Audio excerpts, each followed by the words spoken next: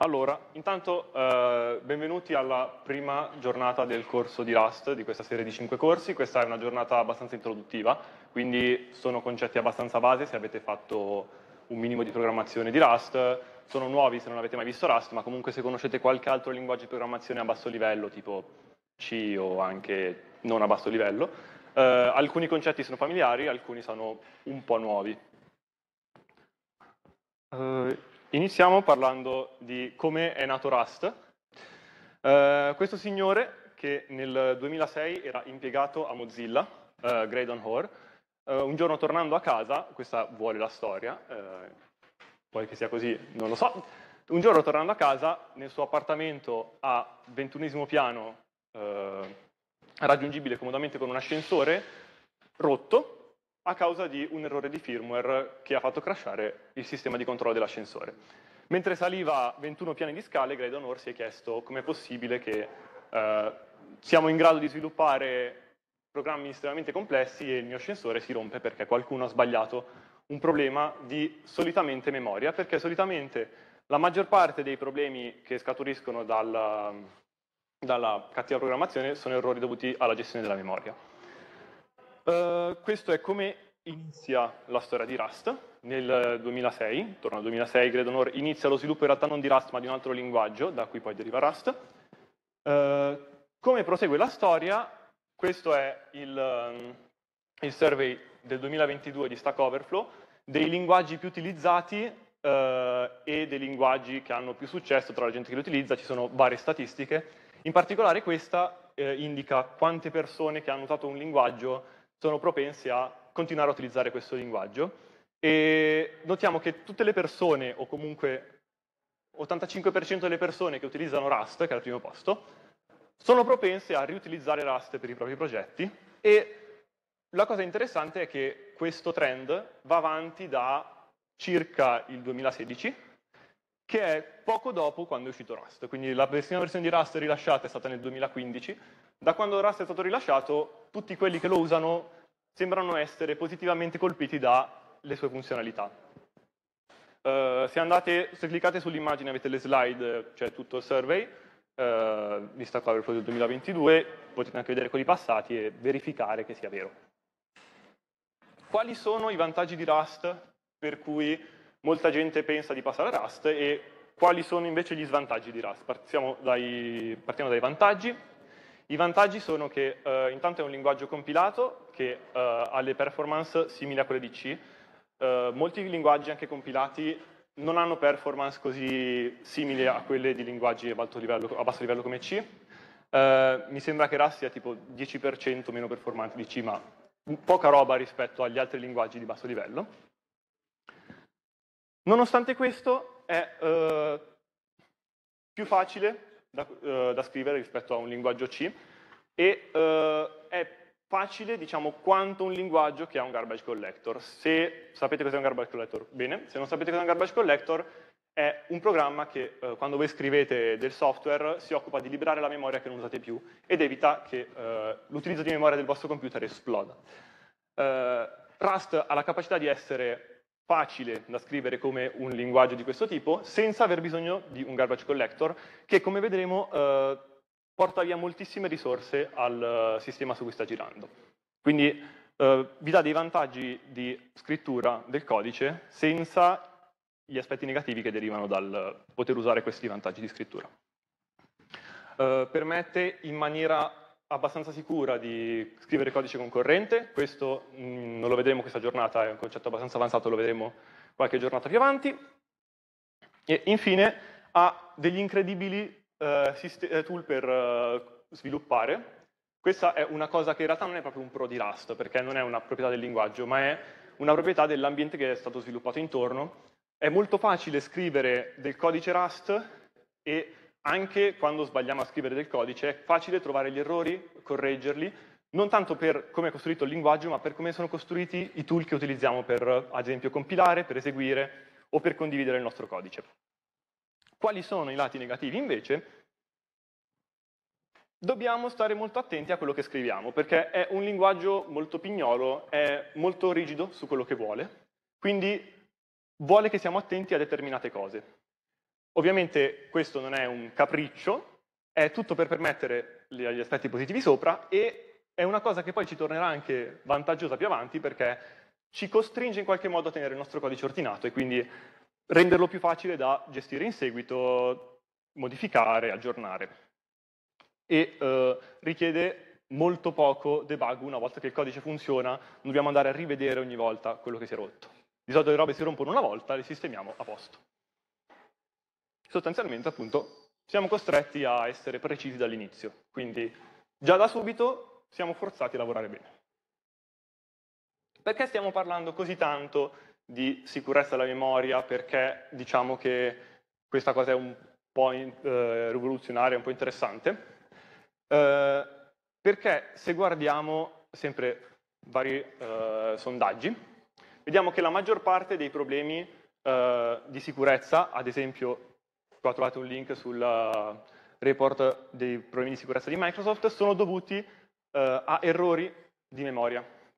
Questo perché solitamente non sono facili da individuare e non sono facili da correggere una volta che il nostro codice è già stato scritto. Quindi sono diciamo, la principale causa delle patch di sicurezza per cui Windows si aggiorna, se usate Windows. Dove viene usato Rust? Eh, questi sono dei progetti, alcuni magari sono familiari, alcuni no, però questi sono diciamo, dei progetti che ho trovato che eh, utilizzano Rust partendo da, in alto a sinistra, eh, questo è Servo, è un engine, uh, web engine per renderizzare pagine, scritto da Mozilla in Rust, Vabbè, Firefox, eh, browser che penso conosciate, Dropbox, eh, che ha riscritto il sistema per sincronizzare i file che utilizzava in precedenza, non mi ricordo in che linguaggio fosse scritto, però l'ha riscritto completamente in Rust. Linux, che dalla versione 6.1 permette la scrittura di moduli kernel in Rust. Uh, Fusion Engineering è un'azienda che si occupa di sviluppare droni e sistemi di, sistemi di controlli per droni, non sviluppa i droni, sviluppa dei controllori per droni che, uh, diciamo, un sistema di controllo per droni deve girare su un ambiente molto limitato, solitamente un sistema embedded. Quindi questo ci dimostra che Rust, nonostante sia un linguaggio abbastanza avanzato come potenzialità, riesce a girare comunque bene anche su sistemi embedded. Discord ha recentemente riscritto il proprio backend da Go a Rust, perché c'erano dei problemi appunto col garbage collector, che in alcuni momenti, a periodicità di qualche minuto, consumava tantissime risorse per pulire tutta la memoria rimasta inutilizzata. Discord è passato alla, a sviluppare tutto il backend in Rust e da quel momento hanno visto un miglioramento di performance. AWS non sono sicuro che abbia già eh, adottato Rust, però aveva fatto uno studio tempo fa, il team di AWS, e aveva notato che riscrivendo il codice in Rust, eh, riscrivendo in Rust il codice che già avevano, il loro sistema che già era pronto, i loro server sarebbero andati a consumare, i loro data center sarebbero arrivati a consumare metà della corrente che utilizzavano, quindi è il fatto che sia a basso livello e che ci dia performance non è soltanto per velocità del codice, ma anche per consumo, quindi vabbè, emissioni, se siete persone a cui interessano queste cose, siete un'azienda a cui non interessa niente, soldi. Uh, Twitter anche, ha, uh, non so quanto tempo fa, ha riscritto il proprio backend in Rust, uh, WebGPU è uno standard recente costruito, non mi ricordo chi l'ha programmato, chi l'ha sviluppato. Comunque si, eh, serve praticamente a permettere al vostro, al vostro browser e alle applicazioni che girano sul vostro browser di accedere alla GPU, eh, quindi all'accelerazione grafica, utilizzando delle API comuni, che poi utilizzano sotto eh, OpenGL, Vulkan, quello che avete. E anche questo è in Rust. L'ultimo, Cloudflare, eh, recentemente Cloudflare ha notato che il traffico, che era sempre in aumento, non poteva essere più gestito da Nginx, come veniva gestito prima da Nginx, e ha deciso di risviluppare da zero eh, il sistema di gestione delle connessioni che era eh, appunto Nginx configurato in Lua, adesso, era, adesso è Rust, tutto scritto in Rust. Quindi, anche se sembra una cosa un po' strana, un po', un po esagerata, ci sono degli esempi per cui progetti grandi, anche già abbastanza maturi, hanno visto dei miglioramenti nel vedere la propria codebase riscritta, o interamente o in parte, in Rust. Vediamo un po' le caratteristiche che ha il linguaggio. Quindi eh, quali sono i tratti che caratterizzano questo linguaggio. Avuto, è un linguaggio compilato, quindi una volta compilate ottenete un codice sorgente, potete eseguire questo codice sorgente, e questo è uno dei motivi per cui è abbastanza veloce come ogni linguaggio compilato. Uh, multiparadigm vuol dire questo linguaggio può, uh, diciamo, trae vantaggio da molti paradigmi di programmazione. Se siete abituati a C, usate la programmazione imperativa, altri, hanno, uh, programmazione altri linguaggi hanno programmazione oggetti, come ad esempio Java, C++, programmazione oggetti. programmazione funzionale, non so se l'avete mai usata. Rust utilizza, può utilizzare molti di questi paradigmi, eh, quindi è anche molto versatile da quel punto di vista. Per raggiungere questa incredibile sicurezza della memoria di cui abbiamo parlato abbastanza, eh, utilizza dei concetti di ownership e borrowing che sono dei concetti un po' diversi da quelli che avete normalmente in C con i puntatori. Chi ha fatto informatica 1? Informatica 1. Fondamenti. fondamenti di informatica, scusate, si chiama fondamenti di informatica. Ok. Sapete cos'è un puntatore? Ok. Qua non... Eh, ci, boh. Qua, diciamo, di solito non li usate, non penso li possiate usare. Non so li posso usare. Non li posso usare. Usate ownership e borrowing, diciamo che sono un, una rete di sicurezza che vi permette di non farvi troppo male quando lavorate con la memoria. È un linguaggio staticamente tipizzato, questo vuol dire che quando eseguite il vostro programma dovete sapere a priori i tipi di ogni variabile. Di, eh, di variabile. Quindi se voi fate una variabile che è un intero, magicamente questa variabile non può diventare un numero a virgola mobile, come succede in altri linguaggi tipo Python, dove i numeri diventano liste, poi diventano stringhe, poi diventano altro. Come preparare l'ambiente di sviluppo? Uh, se volete seguire questo corso, non ci sono delle... non dovete fare niente per oggi almeno, se volete seguire le prossime lezioni anche in maniera attiva, perché le prossime lezioni invece conterranno anche del, del codice, avete due possibilità. La prima è eh, di installare la suite di Rust per compilare, che è una serie di tool che si scaricano utilizzando un comodo comando se siete da Linux, se siete da Windows non lo so. Eh, questo comando che è questo, non state a guardarlo e copiarlo, se andate sul link di RustUp. RustUp è diciamo, tutta questa serie di tool che vi preparano un ambiente ottimo per lavorare in Rust. Potrebbe succedere qualche disastro se avete qualche uh, distribuzione strana per cui non vi vengono inizializzate le variabili di sistema, però in teoria non dovrebbe succedere di base. Se succede ve ne accorgete perché vi arriva un warning che dice devi fare questo e voi lo fate. Se invece non avete voglia di scaricare una serie di tool per seguire questi corsi, volete provare questo linguaggio senza effettivamente dover scaricare niente e poi a posteriori, se vi interessa, scaricare, potete andare su questo sito che si chiama Rust Playground, c'è un QR code se volete inquadrarlo oppure sempre c'è il link. Rust Playground è un editor online che vi permette di scrivere codice con syntax highlight e tutto quello che serve, compilarlo ed eseguirlo tutto nel browser, quindi non dovete scaricare niente, è comodo se volete seguire magari questo corso oppure provare Rust senza dover scaricare tutta la sfilza di tool che pesano anche abbastanza, mi sembra. Sai? Riguardo a quello che hai detto prima, se siete su Windows, guardato adesso, uh, c'è un installer Windows che fa la stessa identica cosa di quel comando lì. Ok.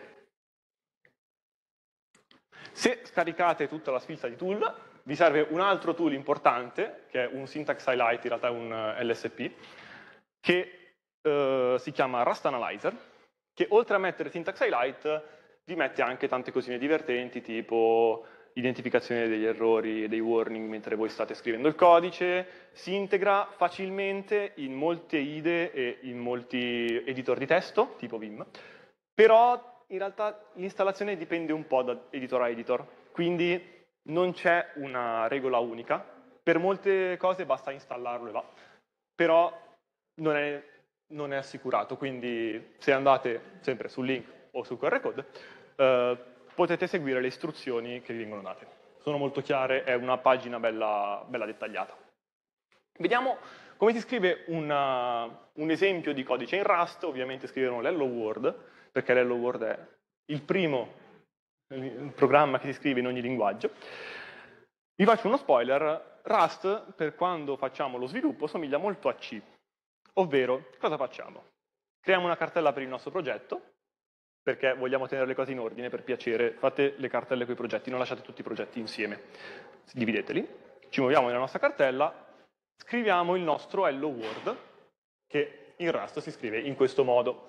Uh, vabbè, modifichiamo o scriviamo un file nome, a questo punto non ci interessa il nome per ora, poi più avanti ci interesserà.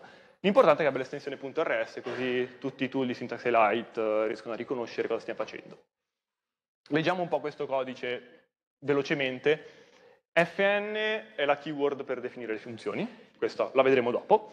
Main è la funzione main, questo se avete fatto C lo sapete, non è molto diverso da C, e poi println, punto esclamativo, hello world. La sintassi è molto simile a quella di C, al posto di printf abbiamo println, punto esclamativo, poi per il resto è quasi uguale, non c'è il return 0 alla fine. Uh, per ora vediamolo così, potete non farvi troppe domande, poi vediamo un po' cosa sono bene i vari elementi. A questo punto compiliamo il nostro codice con rustc, che è Rust Compiler, che avete scaricato se avete usato Rust App, quindi se avete eseguito le istruzioni prima siete riusciti a scaricarlo.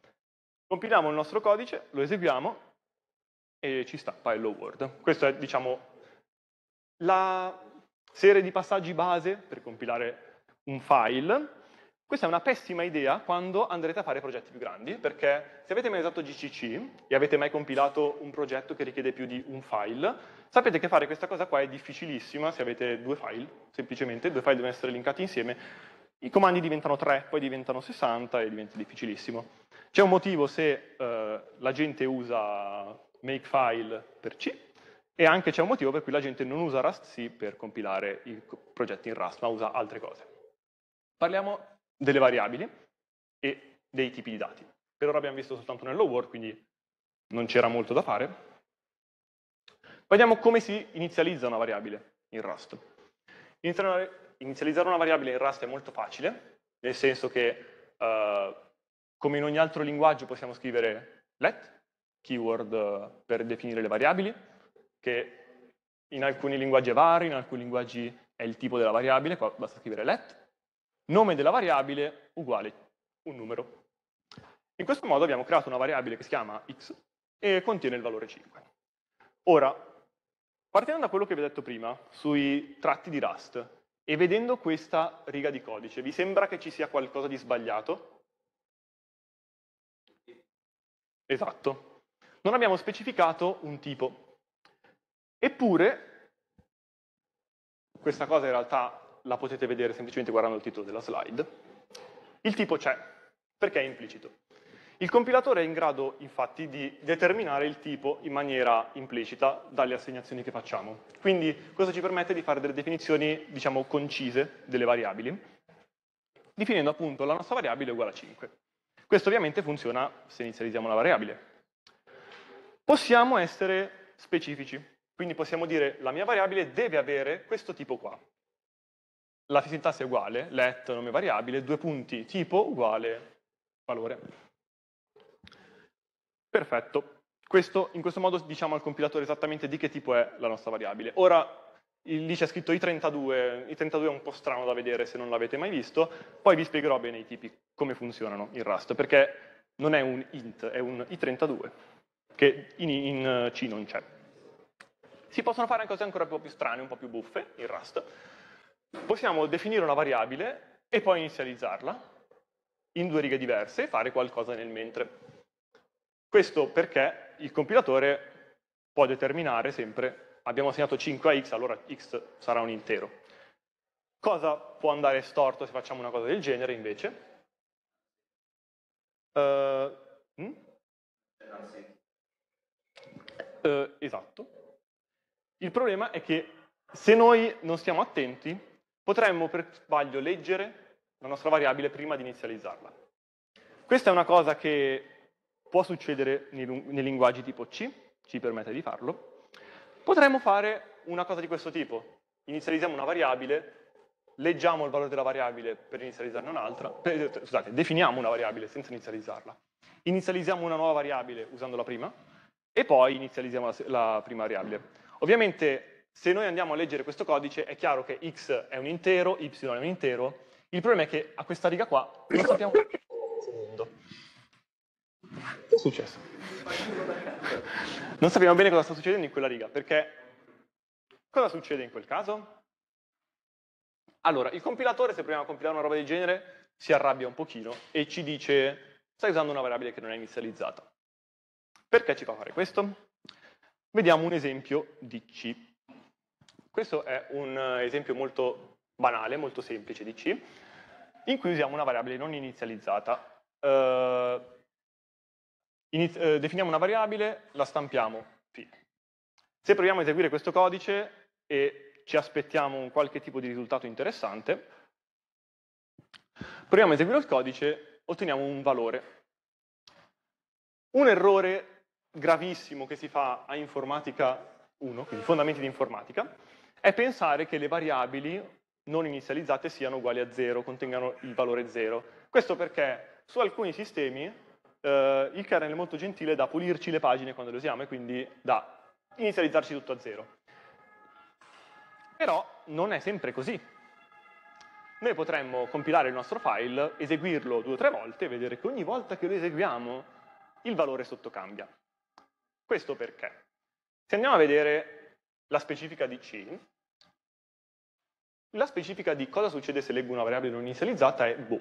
Quindi potrebbe ottenere un valore a caso, il compilatore potrebbe essere molto cattivo e cancellarvi tutto il sistema, perché è una cosa non definita. Quindi potrebbe succedere qualsiasi cosa, poi solitamente chi scrive il compilatore è gentile, non vi cancella il computer, però eh, potrebbe succedere perché è compliant con la specifica di C. RAS semplicemente risolve il problema non compilando codice che ha variabili non inizializzate, o meglio, lettere non inizializzate. Vediamo i tipi basi, i tipi base. Allora, partiamo dagli interi, che sono le variabili che di solito si usano più spesso. Infatti ce ne sono tantissimi. Uh, se voi siete abituati a C, siete abituati a int, short, long e long long, perché in, in C esistono queste quattro categorie. Uh, il problema è che non sappiamo mai quanto esattamente è grande una variabile. Voi vi aspettate int un intero a 32 bit. La verità è che per la specifica di C, int è un intero da almeno 32 bit. Quindi potrebbe essere non da 32 ma da 64 bit. Stessa cosa con lo short, è da almeno 16, però su alcuni computer è da 32, su alcuni computer è da 16, su alcuni computer non penso sia da 64 perché sarebbero dei computer molto, con parole molto grandi. Sostanzialmente, eh, diciamo, il tipo effettivo che state usando in C dipende molto dall'architettura su cui siete. Questo non è campato per aria, non è perché per mettervi dei dubbi, è perché facendo questo lavoro qua ci permette di ottimizzare molto il codice usando tipi della parola del vostro computer. Se non sapete cos'è una parola del computer, questa Word, questa Word praticamente è la dimensione eh, numero di, di, bit che il vostro computer preferisce la parola che, che usa, la lingua che parla, tipo a 32 bit. Uh, se voi usate questo tipo qua, che è quello su cui è costruito l'architettura del computer, il computer riesce a fare diverse eh, il compiler riesce a fare diverse, diverse ottimizzazioni uh, sfruttando l'architettura del computer e il fatto che sia esattamente grande quanto la parola. In Rust siamo precisi con le cose, quindi diciamo che vogliamo un intero a 8, 16, 32, 64, 128 bit. Vogliamo un numero senza segno, un intero unsigned, quindi U, a 8, 16, 32, 64, 128. Se invece vogliamo fare come in C e avere i vantaggi delle ottimizzazioni, possiamo usare le keyword che sono isize, quindi numero senza segno della dimensione dell'architettura del computer, e usize. Queste mi sembra possono essere molto utili nei sistemi embedded, dove lavorare con parole che non sono grandi come tuo, la tua architettura porta perdite di performance abbastanza grosse. Questi erano i tipi interi, che sono quelli di solito più usati. Ci sono altri tipi, che sono, ovviamente se arrivate da C li conoscete, ovvero precisione singola, F32, float. Questa cosa vi dovrebbe ricordare C, i float eh, semplicemente, sono all'analogo. 64 bit float sarebbero i double di C, quindi eh, numeri con virgola a 64 bit. Poi i bool, che sono i boolean. In C l'implementazione dei boolean cambia un po' da versione a versione, dovete usare delle librerie di base non è definito, eh, e C usa dei boolean a 32 bit perché sono degli interi. Rust usa dei bool a 8 bit, però questo non ci interessa. Una cosa che invece ci interessa abbastanza è che i caratteri sono a 32 bit, quindi uh, un carattere, se voi siete abituati a C, pensate che il carattere sono 8 bit, quindi un byte. Il Rust non è così. Il Rust, dato che è un linguaggio abbastanza nuovo, appunto, eh, nato nel 2006, rilasciato su grande scala nel 2015, eh, c'è supporto per i caratteri Unicode, quindi caratteri uh, cinesi, giapponesi, uh, indiani, qualsiasi tipo, e le emoji. Potete supportare le emoji, questa cosa è incredibile. In C questa cosa non succede. In C se fate un E accentata, questo vi sarà capitato a Informatica 1, eh, il contenuto della variabile x è 5 e poi vi compare questo quando compilate. Questo perché di base C dice il carattere è a 8 bit. Non vedo perché tu debba usare di più e quindi vi forza a usare 8 bit. Guardiamo un po' il concetto di mutabilità e immutabilità delle variabili. Se avete fatto fondamenti di informatica, avrete sentito questa frase dal vostro professore o dalla vostra professoressa di informatica, che vi dice quando non cambiate una variabile, quando la vostra variabile non è pianificata per cambiare, definitela come costante. Questo perché potreste fare casini per sbaglio, andando a cambiare valori che non volete cambiare. Bene, Rust utilizza questo concetto come la base per le variabili, ovvero ho 5 mele, compro una nuova mela, ho 6 mele? No. Il compilatore di Rust mi dice che io non posso avere 6 mele se ho comprato 5 mele e ne ho preso un'altra, perché di base tutti i tipi eh, tutte le variabili di Rust sono immutabili.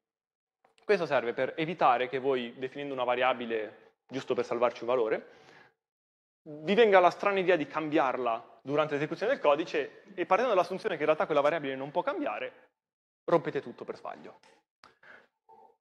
Qua potete già vedere, anche nell'esempio prima delle variabili, potete vedere che il compilatore di Rust è molto esplicito in quello che sta succedendo, non è semplicemente come in GCC che dice non va bene, e si rompe, vi dice, guarda, hai assegnato mele. Qua hai provato ad aggiornare mele, ma non posso fare questa cosa perché è immutabile la variabile. Uh, è così gentile, sotto da darci un'altra riga, dirci consiglio su cosa puoi fare. Puoi aggiungere mut, prima, mutable, e poi sotto ci dà una stringa che dice se vuoi più informazioni su questo errore usa rustc-main error 0384. Questa cosa qua è molto comoda perché il compilatore, senza dover andare su internet a cercare quali sono le possibili cause, le possibili soluzioni di qualcosa, il compilatore già vi viene consegnato con dei consigli su come aggiustare il vostro codice e capire dove si rompe. Quindi quando il compilatore non compila il codice, non vi dice semplicemente il codice è rotto, ma vi dice guarda il codice è rotto, probabilmente l'errore è di questo tipo. Ecco delle possibili soluzioni. Se vuoi sapere di più, leggi le informazioni. Questo appunto è uno dei vantaggi che dicevo prima dei tool molto gentili, molto utili, che ci permettono di sviluppare senza soffrire troppo.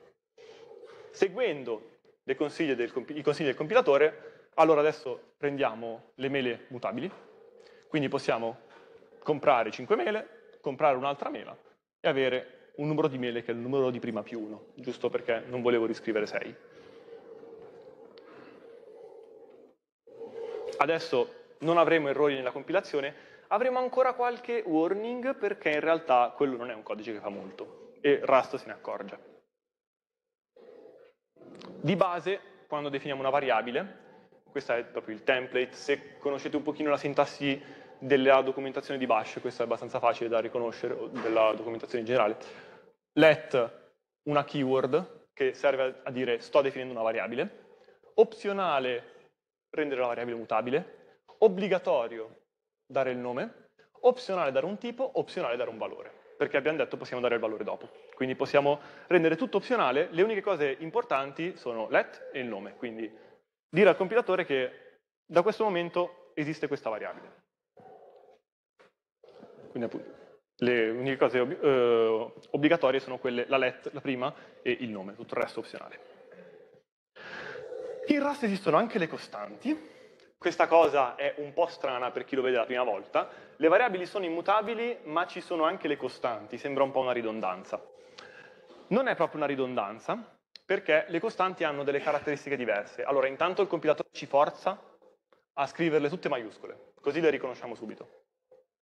Poi, le costanti devono avere un tipo, perché la differenza tra le costanti e le variabili immutabili è sottile, ma c'è. Una variabile immutabile è qualcosa che non può mutare nel corso del programma se non una volta, ovvero quando viene assegnata la prima volta. Le costanti invece non vengono assegnate, hanno già il loro valore nel momento in cui iniziano a esistere. Uh, non saprei come spiegarvi questo concetto in altri modi se non uh, immaginatevi gli immediate di Axo, oppure immaginatevi che le costanti sono incise a fuoco nel vostro codice. Quindi quando il vostro compilatore compila il codice, le costanti già devono avere un valore. Le variabili possono non avere un valore quando il compilatore compila, ma una volta che prendono il loro primo valore lo tengono per tutta l'esecuzione. Un esempio di costante pi greco, pi greco spero non cambi nel tempo, un esempio di variabile che invece non deve cambiare nel corso di esecuzione del programma è ad esempio quando hai iniziato a eseguire il programma, perché se inizio a eseguire adesso, voglio che adesso rimanga per tutta l'esecuzione del programma, però potrai eseguirlo in momenti diversi. Quindi questa è la sottile differenza tra le costanti e le variabili non mutabili. Un'altra cosa di Rust che eh, diciamo non c'è in Rust ma c'è in altri linguaggi come C, sono le funzioni variadiche. Le funzioni variadiche sono delle funzioni particolari che spero per voi che non abbiate mai scritto, perché sono delle funzioni che hanno un numero di parametri che quando viene, definito, quando viene definita la funzione non si sa, quindi tre puntini, in realtà ce l'ha anche Java questa cosa. Bisogna fare una serie di procedure iniziali, una serie di procedure finali e poi nel resto possiamo fare quello che vogliamo con i nostri argomenti della funzione. Le funzioni variadiche accettano un numero indefinito di uh, parametri, quindi in questo caso lasciate perdere tutta l'implementazione, guardate che questo è un sum, quindi sarà una funzione che fa la somma di qualcosa, in questo caso fa la somma di tutti i suoi parametri. Quindi qua sarà 1 più 2 più 3 più 4 più 5, ritorna.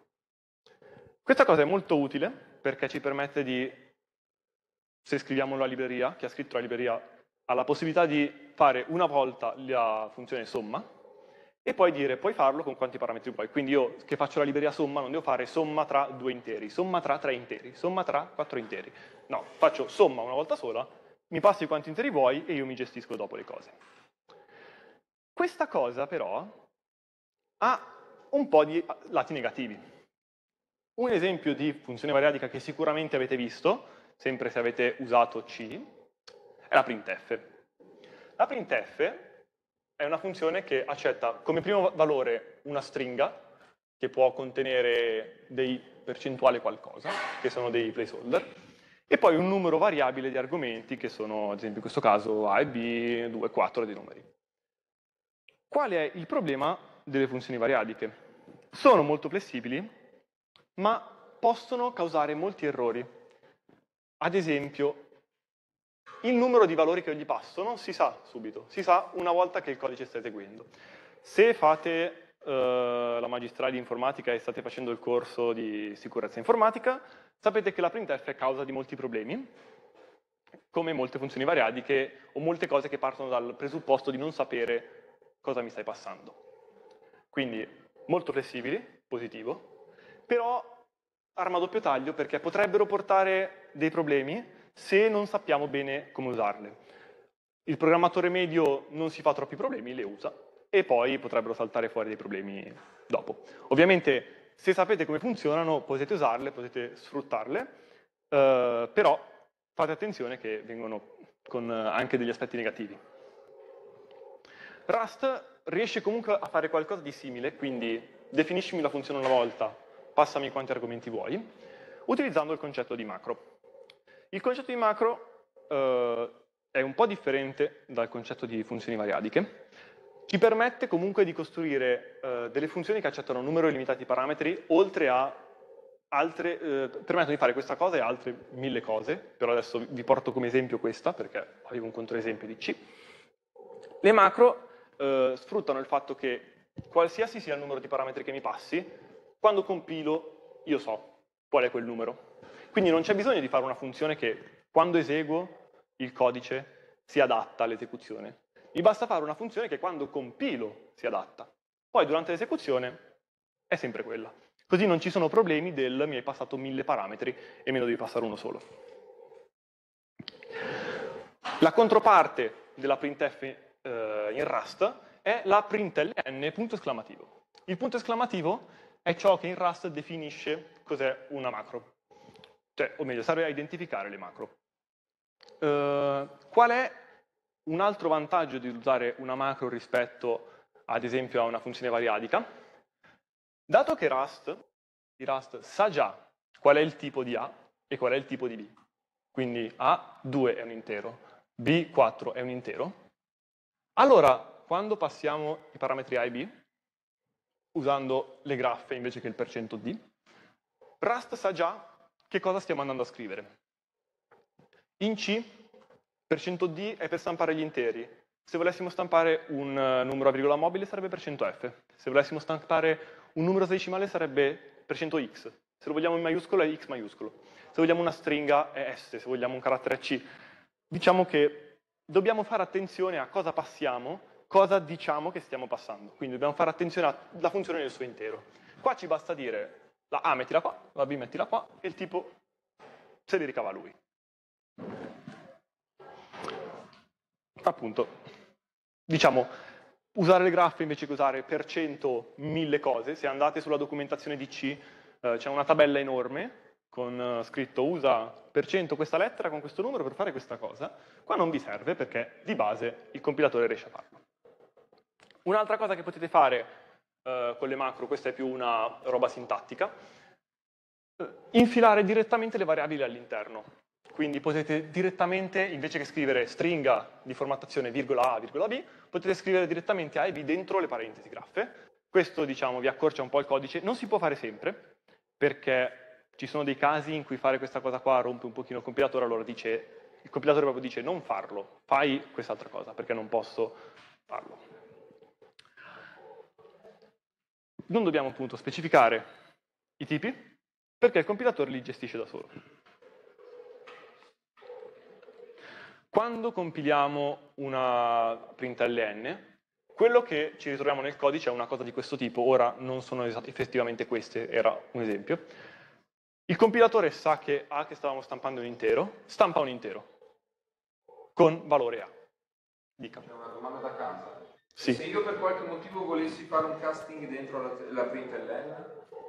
Uh, non penso esistano casting in Rust. Eh, eh, ricordo. Prego, prego. In realtà c'è la mia Espertissimo. Eh, allora, per fare il casting non si può utilizzare questo metodo con le variabili dentro, bisogna utilizzare quest'altro. In questo caso ah, tu metteresti dopo la variabile che vuoi castare uh, as, che è la, la keyword per castare una variabile a un altro tipo, e poi il tipo che vuoi utilizzare.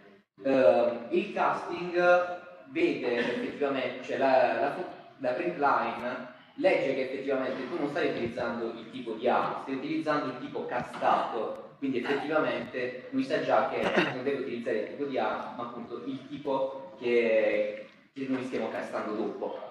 E, è abbastanza intelligente per questo. Ok. Se non si fosse notato, lui è l'esperto di Rust, noi siamo i Goblin che stanno facendo la presentazione. Era per lasciargli le parti interessanti delle prossime lezioni. Comunque, eh, quando ne scriviamo appunto la printf, no, la printf, la println, che sarebbe la printf di Rust, eh, Rust la scompone proprio in diverse funzioni che fanno diverse cose. Ora, effettivamente, se voi andate a vedere la, il codice non succede esattamente questo, questo l'ho scritto io per renderlo comprensibile, perché se guardate la libreria è un pochino più complicato, mi sembra, ci sono un po' di cose strane, che per ora non, sta, non abbiamo ancora visto, però quello che succede è che vengono ripiazzate delle funzioni con delle funzioni che fanno esattamente quello che eh, gli chiedete durante la compilazione. Non c'è un, come nella printf, la printf inizia a leggere la stringa di formato, la printf quando voi passate questa cosa qua, fa un disastro, ovvero che inizia a leggere carattere per carattere, trova che ci sono questi, va a vedere cosa c'è qua, sostituisce, continua a leggere carattere per carattere, vede questo, va a leggere cosa c'è qua, continua a leggere carattere per carattere. E questa cosa viene fatta durante l'esecuzione, quindi la printf è intanto pesantissima da fare eh, e poi ha un sacco di problemi. Qua semplicemente viene fatto stampa stringa, stampa carattere, stampa intero, a seconda di quello che ci serve, proprio durante la compilazione. Così è più veloce perché abbiamo una funzione che sappiamo già cosa, deve, cosa deve fare e eh, più sicuro perché non rischiamo di fare disastri. Un'altra un parentesi sulle funzioni di C che la gente solitamente non si aspetta, definiamo una funzione function Chiamiamo questa funzione passandogli un numero enorme di parametri quando abbiamo detto che non ne volevamo nessuno, uh, ci aspettiamo che il compilatore non funzioni e invece il compilatore compila. Perché se andiamo a vedere la specifica di C, non dire niente all'interno della definizione di funzione vuol dire semplicemente non mi interessa cosa mi passi.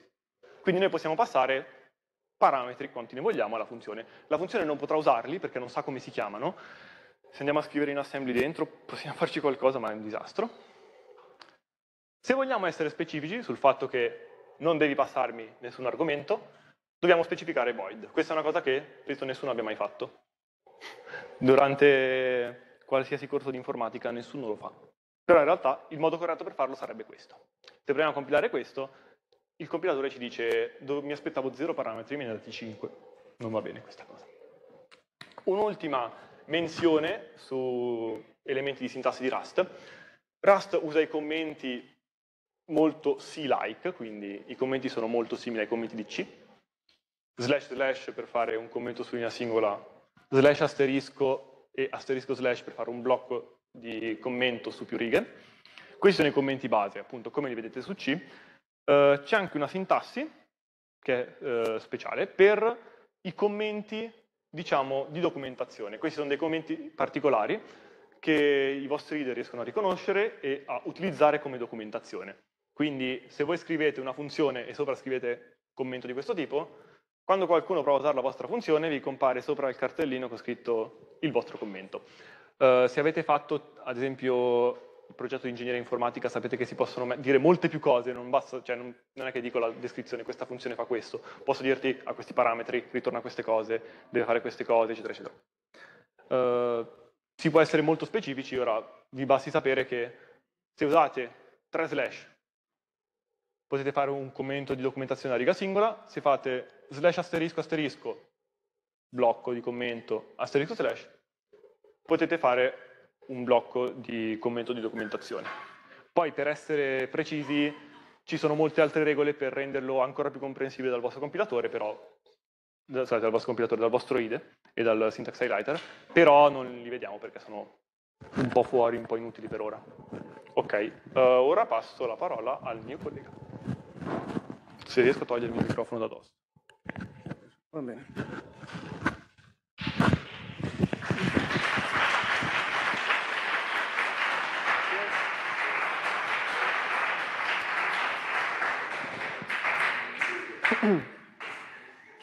Bene, uh, adesso andiamo a vedere cargo.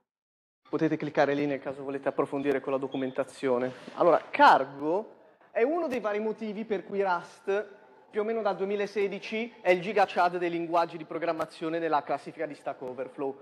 Quindi andiamo un pochino a vedere meglio che cos'è, perché è una delle cose con cui interagirete di più se vi mettete a fare effettivamente progetti in Rust. Allora, Cargo, detto in poche parole, è il Build System e Package Manager di Rust. Che cosa vuol dire questo?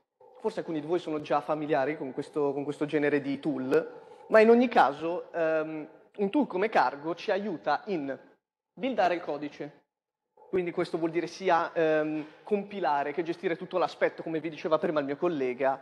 Può essere un problema magari, per esempio, quando avete un programma in C, se avete più di un singolo file, come ve lo insegnano a fondamenti di informatica, voi compilate il singolo file, quindi in quel caso come, come va gestito.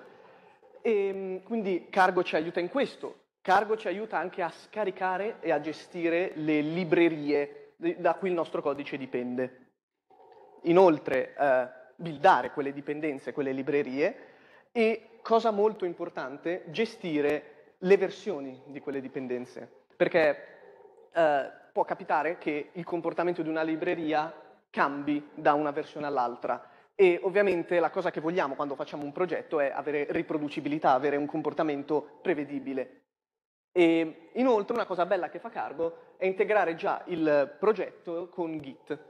Poi dopo vedremo bene che cosa fa nel dettaglio, però eh, cosa combina Cargo. Però setappa diciamo già di base una repo Git per, per renderci facile questo step nel progetto. E questo è importante perché effettivamente um, un programma come un semplice Hello World si può compilare con il Rust, il Rust compiler, ma in ogni altro caso, praticamente per ogni singolo altro tipo di programma che abbia un minimo di complessità in più, è necessario, è, necessario, è meglio e abbastanza necessario in realtà usare cargo. Ora, um, non è solo importante per il progetto in sé, ma anche perché la maggior parte dei progetti che esistono al mondo di Rust utilizza cargo. Quindi se volete anche poter interagire, sapere come interagire con il progetto di qualcun altro, dovete imparare ad interagire con cargo. È importantissimo quando si lavora in un team, perché appunto Uh, per chi di voi ha mai fatto un progetto in team sa quanto gestire tutte le versioni delle dipendenze delle librerie è una cosa sia difficile che critica da fare, soprattutto le versioni precise. E qui io vi faccio una domanda, chi di voi ha eh, fatto il progetto di ingegneria del software del terzo anno o lo sta facendo adesso? Ah, ok, un bel po' di gente. Si usa ancora Maven, giusto? Per, per gestire le versioni di Java? Cosa? Sì, ok. Perché appunto questo genere di tool non è che Rust ha inventato l'acqua calda, ha imparato come gestire, ah, solo Rust ha saputo come gestire i progetti, questo è un tipo di tool che esiste per tanti linguaggi di programmazione, perché abbiamo per esempio Maven o Gradle per Java, chi ha fatto il progetto ingegnere del software l'ha incontrato, meglio ci si è scontrato probabilmente, Poetry per Python, NPM per JavaScript e così via. Sono tutti tool eh, che fanno più o meno questo genere di cose. E ehm, magari molti di voi ci possono essere probabilmente familiari se avete fatto progetti di programmazione, ehm, magari non sono molto felici a riguardo, però su quello ci arriviamo dopo. Perché se andiamo anche a vedere quelli del C, perché non abbiamo fatto altro che fare paragoni col C, perché alla fine Rust l'abbiamo tentato di descrivere come C, ma meglio. Quindi il C ne ha tantissimi di questi tipi di tool, Amazon, eh, CMake, Autogen, Bazel, eccetera, eccetera. Se avete mai compilato da sorgente un qualche software, comunque avete avuto a che fare con una repo di GitHub, probabilmente c'era di mezzo CMake, Mason, insomma qualcuno di quelli. E la questione qual è? È che se voi leggete la documentazione della repo, vi dicono run questo comando e si compila tutto. Se ci avete mai provato, sapete che non è così. Non funziona mai così in modo liscio. E, ehm, infatti questo genere di software è famoso per essere un po' doloroso da utilizzare e, mm, e, inoltre spesso sono tool esterni che dobbiamo prima settappare, non solo scrivere il nostro progetto, ma settappare il tool per gestire tutte le dipendenze e buildare il progetto. Ora, non sarete magari molto felici di sentire questa descrizione, però Cargo è un po' diverso almeno, perché Cargo tenta di, essere, di rendere questo approccio molto più facile, meno doloroso. Prima di tutto se avete installato Rust con, ehm, con, il comando che abbiamo fatto vedere prima, Rust App, o anche con l'installer di Windows, se usate Windows, Cargo è già preinstallato. Altrimenti potete usare comunque, ehm, potete installarlo dalla, con l'installer della vostra distro e ci dovrebbe essere senza problemi. E, ma nella maggior parte delle volte è già lì. Ed è molto semplice da utilizzare. Adesso vi mostro come utilizzarlo. Prima di mostrarvi come utilizzarlo, se, se, se qualcuno di voi ci sta, ci sta seguendo, come dire, smanettando con cose può controllare di averlo installato correttamente, se no in generale, prima di fare qualunque cosa, sempre controllare sul terminale, questo vale sia per Windows che per Linux, eh, che anche per macOS volendo, eh, cargo eh, dash dash version, Semplicemente rannate questo comando nel terminale e se vi dà un numero di versione, perfetto, cargo installato, a posto. Se vi dà una qualunque altra cosa, cargo non è stato installato correttamente. Comunque in generale, se avete domande, anche così dopo, queste domande più tecniche sul non mi funziona cargo, venite qui anche a chiederci. Mentre per altre domande non, non fatevi problemi a interrompermi a chiedere. Solo se sono troppo elaborate potrei inoltrare la domanda all'autorità qui. Però... Quindi, come si crea un progetto in cargo? Prima va creato, ovviamente, il progetto. Il modo di creare un progetto è, con, è, aprire una finestra di terminale laddove volete creare il progetto effettivamente e lanciare quel comando cargo new e il nome del progetto. In questo caso abbiamo chiamato hello cargo, però potete dargli qualunque nome vogliate. E quello che farà il comando di cargo è creare una cartella che verrà inizializzata in un certo modo. Quindi quello che vi, dice, che vi diceva lui che è giusto, create cartelle per i vostri progetti, cargo un po' vi aiuta, vi, vi vi dà, vi dà già tutto nel cucchiaio pronto, perché crea già una cartella lui. E dentro questa cartella, se navigate dentro questa cartella, vedete questo genere di struttura. Quindi all'interno della cartella Hello Cargo ci sarà il, la cartella source e un file cargo.toml. Che cosa sono questi due, questi due componenti della cartella? Il cargo.toml è un file scritto in toml. E, ehm, ed è composto da due parti, è un file testuale composto da due parti. La prima parte, la parte package, contiene delle configurazioni generali per, um, per compilare il il vostro programma. Um, è una cosa che per uso base non ci dovete pensare troppo, almeno per ora. L'altra parte che è importante, sarà importante più avanti, anche nelle prossime giornate, è la parte delle dependencies, quella sotto, perché è lì che andrete a specificare le versioni delle librerie che utilizzerete. Quindi, per esempio, Uh, se poi andate a vedere nella documentazione cargo, quella che c'è linkata prima, fanno per esempio un esempio su come utilizzare, uh, come, come utilizzare fare un giochetto che usa numeri generati randomicamente, per, per, usare la funzione che genera numeri randomici avete bisogno di usare la libreria apposita. Voi potete specificarla in dependencies e Cargo si occuperà di avere la versione giusta e di, e di averla sempre nel vostro programma. E la cartella source invece, se la aprite, ci sarà dentro un file main.rs con già prescritto all'interno un hello world. La questione è che questa cartella è la cartella in cui dovete scrivere codice, è l'unica cartella in cui dovete scrivere il codice. Il top level della cartella Hello Cargo non è per il codice, è per altra roba. Lì il codice va tutto lì, nel, nel main o comunque in altri file che scriverete comunque nella cartella source. E, ehm, inoltre, se qualcuno di voi ha provato il comando e ha la visualizzazione dei file nascosti attiva, avrà notato che ci sono due file nascosti nella cartella hello cargo, top level. Un, una cartella git e un file git ignore. Per chi di voi ha usato mai git, sa già che cosa vogliono dire queste due cose. Cargo ha già preinizializzato una repo di git nel nostro progetto, risparmiandoci degli step eh, abbastanza noiosi e ripetitivi. Ora, andiamo a vedere un po' i comandi generali di Cargo, giusto per capire come effettivamente gestire un progetto, come interagire con il progetto di qualcun altro e cose varie. Se volete sapere di più su un comando, man mano che, man mano che guardate le slide potete cliccare, cioè non qui, sulle vostre, um, sul nome del comando e vi porta direttamente alla documentazione. Cargo build. Nella cartella del vostro progetto, la cartella Hello Cargo in questo caso, se lanciate il comando cargo build, quello che succederà è che cargo vi darà un output di questo genere. Vuol dire che Cargo che cosa fa? Ha compilato l'interesse del nostro progetto, gestendo dipendenze, gestendo tutto quello che c'è da fare, in questo caso è Hello World, quindi non è che debba fare tanto lavoro, e avrà generato un file eseguibile. Il file eseguibile sarà all'interno della cartella target debug e ci sarà il file che si chiamerà hello cargo o hellocargo.exe su Windows.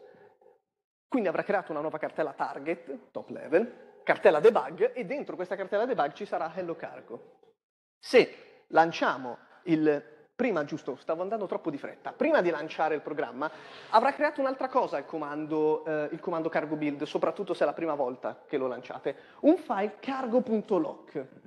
Il file cargo.lock è autogenerato da Cargo e si occupa di tenere traccia di tutte le singole versioni delle dipendenze.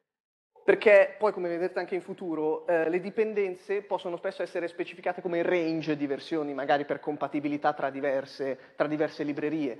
Eh, il cargo lock contiene invece tutte le versioni precise delle dipendenze e delle dipendenze delle librerie che avete specificato, quindi ci sarà molta più roba nel cargo lock, ma voi ignoratelo da quel punto di vista, è un file generato da cargo, non dovete toccarlo, se lo toccate si rompe tutto, quindi lasciatelo lì dov'è. Il file eseguibile invece, quello lo potete toccare. Se lo eseguite, classico comando da terminale oppure anche sul file explorer, doppio clic e lo eseguite, verrà eseguito tranquillamente classico hello world. E um, prima di andare a vedere la, la, versione migliore del cargo build, se voi per esempio scaricate il progetto Rust di qualcun altro, che è stato setappato correttamente con cargo, immagino, potete runnare cargo build nella cartella di quel progetto e avere l'eseguibile compilato del progetto. Quindi questo rende molto anche facile interagire con i progetti altrui. Se avete mai lavorato eh, con i progetti degli altri in Python, per esempio, che invece è un linguaggio che per nulla vi impone un, un, uno schema, un rigore, sapete quanto può essere difficile interagire con i progetti altrui, perché ognuno lo scrive a suo modo. Mentre qui, con questa struttura un po' imposta, voi sapete già, ho questo progetto, cargo build e lo posso buildare. C'è un modo migliore di fare questi, questo step che abbiamo fatto adesso, ovvero compilare e eseguire il codice, che è cargo run. Cargo run, nello stesso identico modo, quindi lanciandolo nella cartella hello cargo, la cartella del vostro progetto, compila e runna immediatamente l'eseguibile, lo esegue immediatamente. Quindi è comodo perché sono due step in uno, si risparmia tempo e, mm, ed è semplicemente comodo perché se voi volete sia compilare che visualizzare immediatamente l'output del vostro progetto, potete farlo. E se avete compilato prima con cargo build e avete usato adesso cargo run, potete notare una cosa molto particolare, che Rust non ha compilato, Rust, che Cargo non ha compilato il codice questa volta. Non l'ha compilato perché, non perché non aveva voglia, ma perché ha notato che non c'è stata nessuna modifica nel codice. E se non c'è stata nessuna modifica significativa nel codice che ne altera il comportamento, lui non lo compila, perché non ce n'è bisogno, l'ha già compilato prima. Quindi questo vi permette di risparmiare tanto tempo, soprattutto quando il progetto è grosso e la compilazione può, avere, dire, può richiedere tanto tempo. E, um, altro comando importante, cargo check. Cargo check è, um, è, un comando che vi permette sempre, runnare cargo check da terminale nella cartella del progetto, vi permette di analizzare il codice e, um, e di vedere se compila, cioè banalmente, lo stavo spiegando male, banalmente, se volete vedere che il vostro codice compili, vi è sufficiente usare cargo check, perché magari non siete interessati a generare l'eseguibile. Quindi cargo check controlla che il codice compili senza generare un eseguibile. Perché esiste questa cosa? Perché è molto più veloce, soprattutto se il progetto è grosso, siccome non genera un eseguibile, è un comando molto molto più veloce. E, ehm, ed è una cosa che sicuramente può capitare spesso, perché magari avete fatto il vostro progetto, c'è un pezzo, avete magari dimenticato una parentesi e il codice non compila, risolvete quella parentesi, non vi interessa di lanciare il programma, vi basta eh, vedere se compila. Cargo check è utile per queste cose.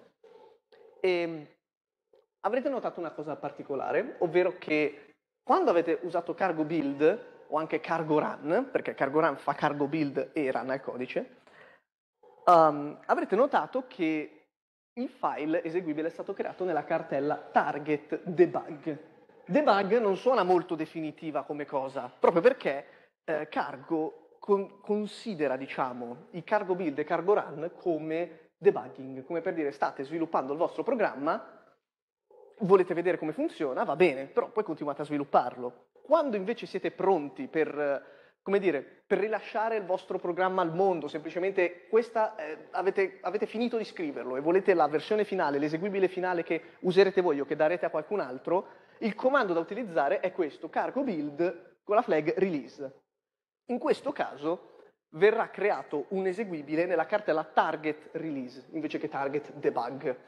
Perché questa cosa non è solo per, solo per l'ordine, cioè può essere comodo avere l'ordine, ma la motivazione principale è un'altra, ovvero che quando voi userete cargo build release, eh, cargo, eh, cargo con il compilatore di Rust performerà tutta una serie di ottimizzazioni ottimizzazioni per rendere il vostro eseguibile finale il più veloce ed efficiente possibile. Queste ottimizzazioni però sono molto dispendiose di tempo, quindi ehm, come dire, applicare ogni volta che si compila queste ottimizzazioni mentre sviluppate il vostro codice sarebbe una perdita di tempo eccessiva. Quindi l'idea è, voi con il cargo build normale costruite il vostro codice spesso mentre programmate, mentre state cercando di debuggare, e poi quando siete pronti con il cargo release vi esce l'eseguibile perfettamente ottimizzato che ci metterà di più a, a, ad essere compilato, ma sarà il migliore eseguibile che potete, che potete compilare. E, ehm, e con i comandi principali di cargo finiamo qui, nel senso che ce ne sono altri, ma questi sono quelli principali che vi sono utili sia per gestire il, il vostro progetto, per interagire con i progetti altrui. Andiamo a vedere un, un, altro piccolo argomento che si integra con Cargo, che è Clippy. E, um, esploreremo superficialmente Clippy, non andremo troppo nel dettaglio. E no, non stiamo parlando di questo Clippy purtroppo, ma parliamo di uno strumento interessante di Rust. Um, Clippy consiste in una collezione di lint che vi aiuta in generale a beccare gli errori più comuni e a scrivere codice di Rust più pulito. Uh, se non avete familiarità con il concetto di lint potete comunque cliccare sul link lì, ma in generale vedete, vedete Clippy come un, un, pezzo di software che si occupa di analizzare il vostro codice e di beccare degli errori, che non sono errori di, eh, come dire, di sintassi gravi, come avete dimenticato una parentesi, perché quello lì è direttamente il compilatore di Rust che vi dice fermo un attimo. In questo caso si parla spesso di errori sia di stile che errori, diciamo, comuni che sono sintatticamente corretti magari. Andremo a vedere un esempio adesso. Um, diciamo che Clippy consiste in una lista eh, di più di 600 links, che potete tutte vederli lì, se per qualche motivo volete, volete spulciarveli. E, um, come si usa Clippy? Come si usa? Nella cartella, sempre del progetto, come sempre, comando cargo Clippy. Nel momento in cui usate il comando cargo clip, se siete stati bravi, in realtà non, non, non, vi dice, vi dice, non, vi dice, nessun errore se siete stati bravi. Se avete fatto qualche errore, ve lo fa notare. Vi dice anche come andrebbe risolto, vi dà dei suggerimenti. E se successivamente ranate il comando cargo clippy con eh, la flag fix, dash dash fix, lui tenterà di applicare quei suggerimenti. Non lo potrà fare sempre, vedremo un caso dopo in cui non lo può fare, però dove può applica quei suggerimenti che vi ha dato. Vediamo un, un esempio. Questa linea di codice, la prima, è una sintassi che non avete ancora visto, ma vi spiegherò brevemente che cosa fa. If 1 maggiore o uguale di i32 max. Cosa vuol dire? Vuol dire semplicemente eh, se un, è un if, classico if come in C o in qualunque altro linguaggio di programmazione, 1 maggiore o uguale del massimo intero a 32 bit possibile, che è 2 milioni e qualcosa se non sbaglio.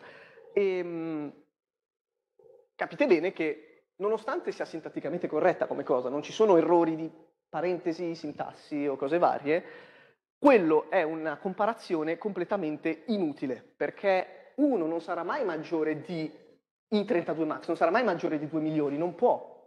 E se infatti eh, fate, usate il comando cargo clippy, vi dirà, hey, ma qui, in questa zona di codice, stai facendo una comparazione che, come vi dice sopra, è sempre, sempre vera o sempre sbagliata. Cioè, vi sta dicendo che state facendo una comparazione che è sempre vera o sbagliata, quindi è totalmente inutile. In questo caso la comparazione sarà sempre falsa. Vuol dire che il blocco di codice all'interno non verrà mai eseguito. Quindi teoricamente non si possono uh, comparare due interi o comunque numeri che non fanno parte dello stesso tipo? No, allora...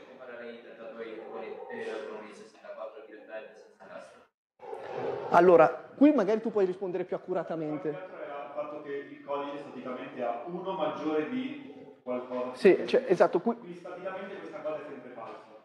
Esatto. E allora funziona, cioè logicamente è intero maggiore di intero puoi farlo, ma sai già che hai già due valori costanti, fai sempre uno maggiore di due. Sì, non è, esatto. Ah, allora sì, ho ho, ho malinterpretato la domanda. Allora, sì, comunque si, pos- si, possono confrontare diversi tipi di interi. In quel caso la, la, la problematica è che noi stiamo praticamente facendo if 1 maggiore o uguale di 2 milioni, praticamente. È una comparazione inutile, perché non sarà mai vera.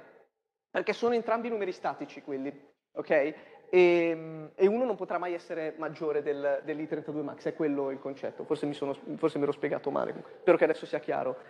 E, E quella lì è semplicemente un modo di, di prendere il valore massimo del, dell'i32, quindi dell'intero 32 bit, eh, che può essere utile per varie cose in cui bisogna inizializzare ad un numero grosso o cose varie. E questo pezzo di codice è inutile, cioè non è inutile, verrà sempre eseguito e sarà sempre falso. Quindi la roba che c'è dentro è inutile, non verrà mai eseguita la roba dentro quelle parentesi. E Clippy se ne accorge. Nonostante sia scritto in modo giusto, Clippy dice, hey, ma qui questa comparazione non va bene perché è sempre falsa o sempre vera. Quindi ehm, vi spiega anche più nel dettaglio, qui dopo potete leggervi il messaggio d'errore, eh, il compilatore di Rust ma anche Clip in generale sono molto, ehm, tendono molto a spiegare dove avete sbagliato, non vi fanno sentire stupidi, che è una cosa molto bella, a differenza del compilatore di C. E, ehm, e questo è un errore. E Clippy vi avvisa e vi ferma dal compilare. Um, nel caso, un altro esempio, che invece è un esempio più stilistico, è immaginiamo di dichiarare due variabili, la variabile A, che è 10 in questo caso, e la variabile B, che è A negativa, diciamo A per meno 1. Se io provo a lanciare cargo Clippy come comando, Clippy mi dice, ehi, non è tecnicamente sbagliato quello che hai scritto, però potresti scriverlo meglio questo potresti scriverlo in modo più compatto, potresti scrivere meno A. Come di, quando dicevamo che Rust è pignolo, questo è uno dei motivi per cui è pignolo, ma è importante una cosa del genere perché questo vi aiuta a scrivere in generale codice più pulito, codice più standardizzato e soprattutto più leggibile. E, mm, e in questo caso, usando il comando cargo clippy fix, clippy vi applicherà il suggerimento in questo caso, ovvero trasformerà A per meno 1 in meno A, che è un modo molto più compatto e chiaro di scriverlo. E questo è solo un esempio, ovviamente.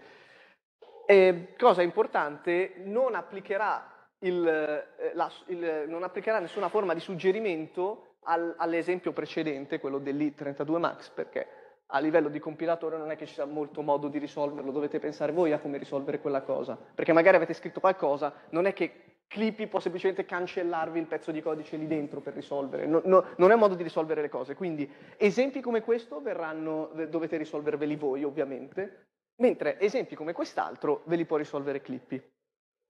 E abbiamo finito con Clippy, quindi se volete vedere altro, perché Clippy è molto, più, è molto, molto vasto come argomento, potete vedere la, la documentazione di Clippy lì, anche per vedervi tutti i vari casi in cui corregge l'errore.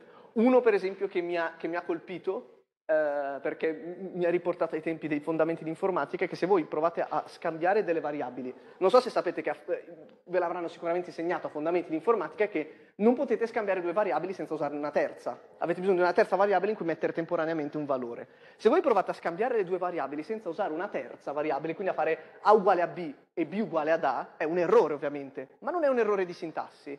Che l'IP si arrabbia in quel caso e vi dice, ehi, Stai, stavi tentando di, cambiare, di scambiare le due variabili? C'è un modo migliore di farlo.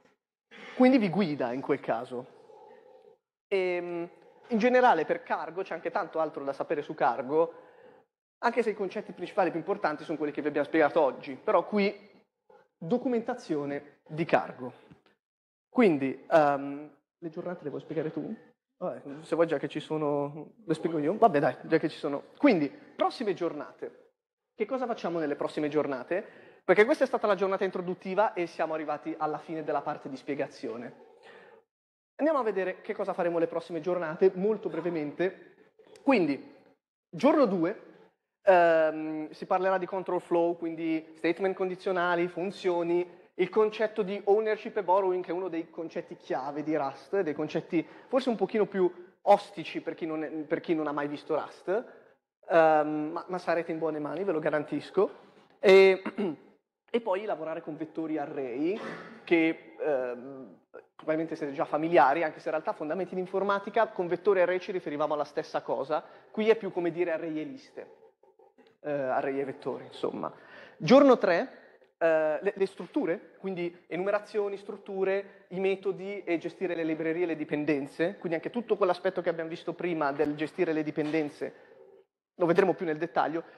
Il giorno 4 sa, cominceranno le cose un pochino più avanzate, quindi um, traits generics, lifetime, um, gli smart pointers, queste sono parole a caso probabilmente per chi di voi non è pratico con Rust, però nel, dopo il giorno 4 vi sarà chiaro che cosa vogliono dire, a parte le macro, quelle le avete viste, ed è un concetto importante di Rust, e la keyword unsafe. anche quello concetto avanzato.